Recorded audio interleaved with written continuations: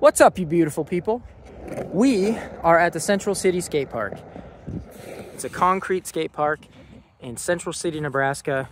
Population of like 2,900 people. They built this little skate park. It's got some weird obstacles, and it's uh, a lot of fun and a lot more quality for what you'd expect for small town Nebraska. Uh, it's got a micro bowl. Didn't really skate that much yet, just kind of rolling around. I got some flat spots because I was trying nose blunt slides. Uh, got some weird obstacles. It's got this rollover thing. It's got a gap. It's got that, which looks a little fun. And this log to skate. An actual rail from like the railroad. Must be the history of this city. Because they got one over here too.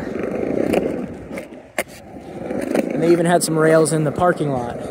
Uh, but kind of a little surprised to have something so cool here. There's another rail. And uh, good little skate park for the kids out here. So there's little gems everywhere. I don't know if anybody will ever be close by unless you're in the area or work in agriculture or the railroad or something, but it's also a really good park. They have appears to be a new basketball court, two pickleball courts, and a really good park for for the kids. My kid loves it.